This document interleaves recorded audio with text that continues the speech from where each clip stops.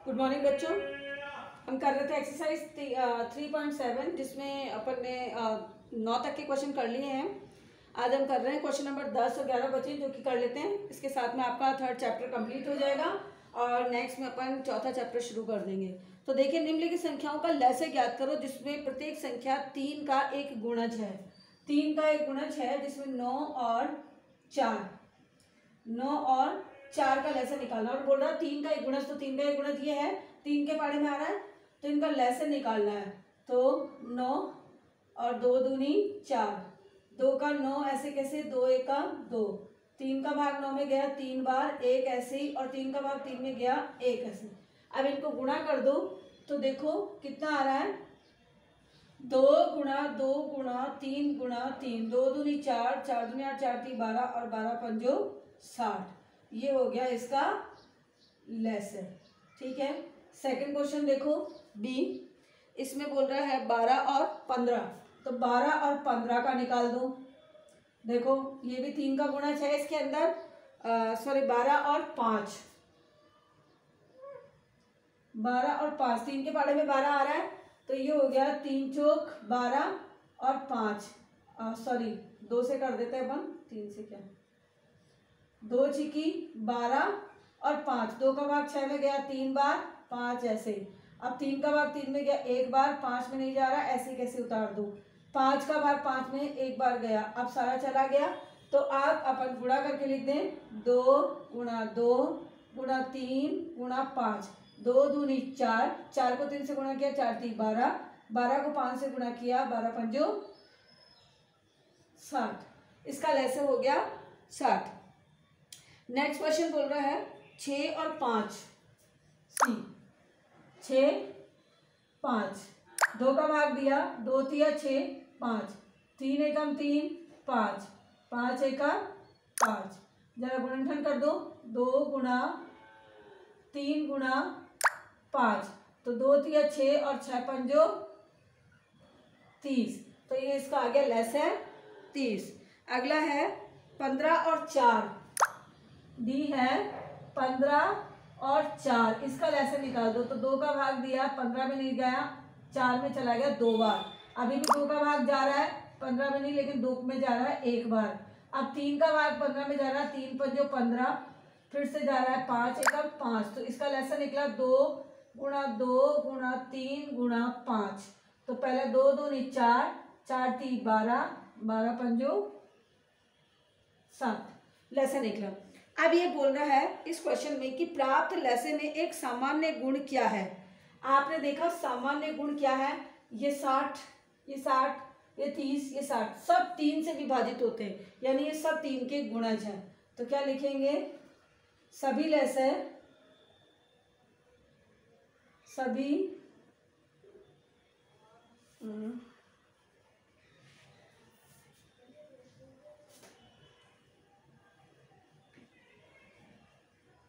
सभी लेसर तीन के गुणज हैं। आपने देखा ना कि तीन से विभाजित हो रहे हैं, साठ साठ, तीस, साठ, ठीक है? अब अगला देखो। दो तीन छः और छः पंज तीस, दो दिन चार चार ती बारह बारह पंज साठ, दो दिन चार चार ती बारह बारह भारतीय सॉरी ये आएगा। दो दूनी चार चार ती बारह, पाँच भारतीय छत्तीस हो जाएगा, ठीक है? एक बार देख लीजिएगा वापस बार जब आती है छत्तीस हो जाता है। जो कि आप अभी देखो सभी लैसे क्या हो गए? तीन के गुणज हो गए। ठीक है? अब ये तीन के जब गुणज हो गए हैं पहला गुण तो यही होगा। दूसरा क्वेश्चन पूछ रहा है क्योंकि छत्तीस में भी तीन का भाग जाता है साठ में भी तीन का भाग जाता है तीस में भी तीन का भाग जाता है और साठ में भी तीन का भाग जाता है। अब है नेक्स्ट क्वेश्चन इसी में बोल रहा है कि आ, क्या लेस है? प्रत्येक स्थिति में दोनों संख्याओं का गुणनफल है। तो देखिए गुणनफल देखो, नौ चौक छत्तीस आ रहा है। बारह चौक बारह पंजो साठ आ रहा है।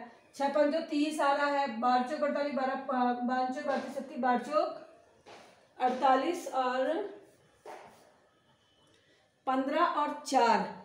पंद्रह तीन पैंतालीस, पंद्रह चौकू साठ हो रहा है। तो दोनों संख्याओं का गुणनफल, जो आपको दो संख्याएँ दे रखी है, उनका गुणनफल आ रहा है। इन दोनों का गुणनफल छत्तीस हो गया, इन दोनों का गुणनफल साठ हो गया, इन दोनों का गुणनफल तीस हो गया, इन दोनों का गुणनफल साठ हो गया। यानी दोनों का गुणनफल आ रहा है। तो एक एक रिज़ल्ट क्या निकला? कि लेस है। दोनों संख्याओं का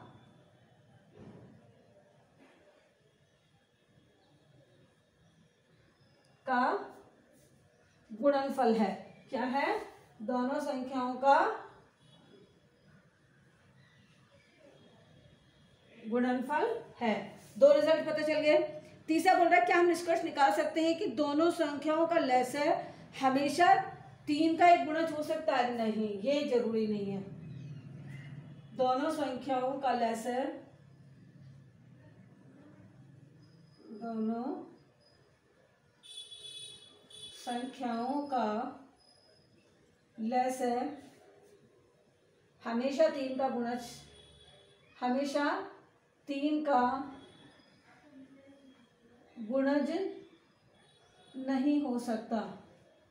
ये आपको कुछ एग्ज़ाम्पल है जिनमें हो रहा है, लेकिन ज़रूरी नहीं है कि हमेशा ये गुणज समान हो। नेक्स्ट है क्वेश्चन नंबर ग्यारह। निम्नलिखित संख्याओं का लैसे ज्ञात करो और एक संख्या दूसरी संख्या का गुणनखंड है या नहीं है। तो देखो, सबसे पहले तो आपको ए दे रखा है। पाँच और बीस का गुणनखंड कर दो। दो से पाँच ऐसे, दो ढाई का बीस। दो से पाँच, ऐसे ही दो पंजो दस, और फिर पाँच से पाँच एकम पाँच पाँच एकम पाँच। गुणा कितना हो गया इसका लेस है दो गुणा दो गुणा पाँच। दो दूनी चार और चार पंजो बीस। बी देखो, छ और अट्ठारह, छ और अट्ठारह। ठीक है, दो से दो तिया छः, दो नाम अट्ठारह। तीन से तीन तिया नौ, तीन सॉरी तीन एकम तीन और तीन तिया नौ, फिर एक और तीन एकम तीन। तो दो गुणा तीन गुणा तीन। दो तिया छः और छः बारह छती अट्ठारह सी। सी है बारह और अड़तालीस। बारह और अड़तालीस। दो का दिया दो छिकी बारह, दो दिन चार, दो चौक आठ। दो तिया छः दो एकम दो दो दूरी चार। दो से तीन और दो छिकी बारह। दो से तीन और दो तिया छः और तीन एकम तीन और तीन एकम तीन। तो गुणा कर दो इनका। दो गुणा दो गुणा दो गुणा दो गुणा तीन।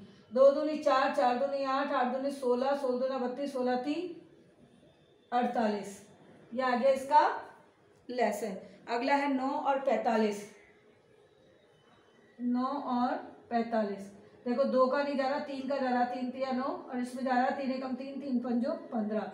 फिर से तीन का जा रहा तीन एकम तीन और तीन पंजो पंद्रह। फिर से जा रहा है पाँच का। तो अब ये आ गया तीन गुणा तीन गुणा पाँच। तीन तिया नौ और नौ पंजो पैतालीस। अब ये बोल रहा है कि प्राप्त परिणामों में आप क्या देख रहे हो? आप रिज़ल्ट देख रहे हो? क्या देख रहे हो? इसकी बड़ी संख्या बीस है, इसकी बीस है।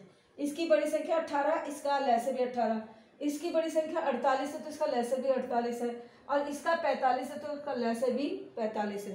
तो आपने क्या रिज़ल्ट देखा कि बड़ी संख्या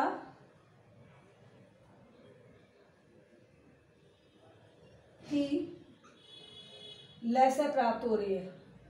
लैसे प्राप्त हो रही है। ये ध्यान रखिएगा कि कंपलसरी नहीं है ये, कि बड़ी संख्या ही लैसे प्राप्त हो। ठीक है? देखो आ, कभी कभी हो सकता है कि आ, ये मैं आपको नीचे दिखा देती हूँ। देखो आप। बड़ी संख्या ही लैसे प्राप्त हो रहा है। अब ज़रूरी नहीं है कि हमेशा बड़ी संख्या ही हो कोई और भी संख्या हो सकती है। तो ये आपकी एक्सरसाइज खत्म हो गई। कल अपन करेंगे नेक्स्ट क्लास में नई एक्सरसाइज थैंक यू